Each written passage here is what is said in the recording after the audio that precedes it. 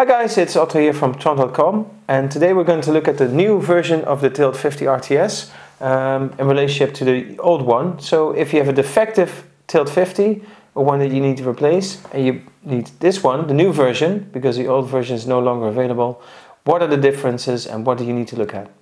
Well, first of all, um, the design is different.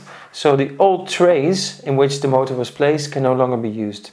Those have been replaced by these brackets, these headrail brackets. You get two of them and you click them onto the motor like so.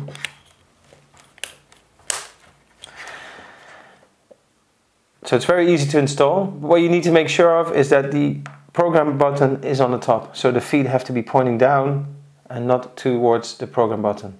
You need one on each side so you can actually fit it into the headrail. So that's the first difference. You no longer can use a tray, you need to have these new parts. Uh, in addition to that, you need a shaft adapter, and those are also different from the previous versions. Uh, the shaft adapter is installed on this side, so where the cables come out, and you have three versions. You have the 5mm square one, you have a 5mm star-shaped one, and you have a 6mm diameter star-shaped one. And you can easily press it in on the side, push it in all the way to the end and it clicks in. But again, this is a part that you need to uh, get with your motor. So what we've done is because whether you're replacing an old motor or you're using the motor for a new project to automate your blinds, you always need these parts. So we always include them.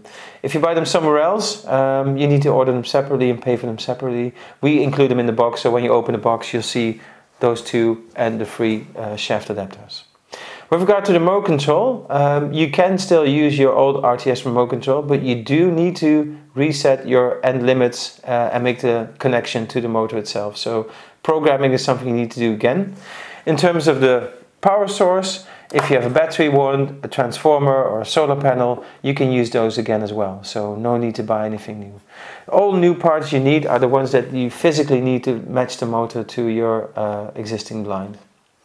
Now if you have any questions about it, how to do it, there's another video about that, but if you want to program the motor, um, have any questions about the, the product itself, how it works, then do let me know. Um, you can leave a uh, message below the video, you can send me an email or otherwise get in touch with me.